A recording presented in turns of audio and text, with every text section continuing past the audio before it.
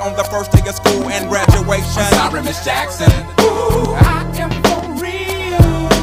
Never meant to make your daughter cry. I apologize a trillion times. I'm sorry, Miss Jackson. Ooh.